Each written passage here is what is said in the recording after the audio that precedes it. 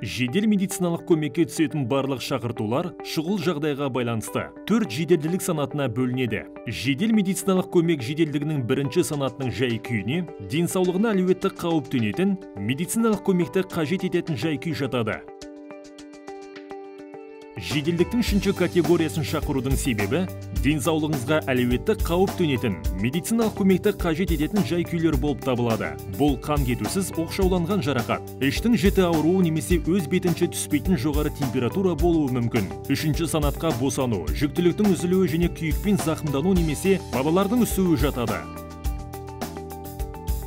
Жазатайым оқиға немесе ауру жағдайлары туралы қысқаша бірақ анық айтып беріңіз. Орналасқан жері белгісіз болған жағдайда оқиға орнына немесе мекен жайға кіре беріс жолын нақтылау оның жалпыға белгілі бағдарларын атаңыз. Бұл зардап шегушінің жағдайын дұрыс анықтау және жедел жәрдемнің уақытылы келуі үшін қажет. Бригада келген соң медицина қызметкерлерін әсіресе кешкі және түнгі уақытта қарсы алу қажет. Есіңізде болсын. Үшінші санаттағы жедел жәрдемнің келу уақыты 30 минутқа дейін.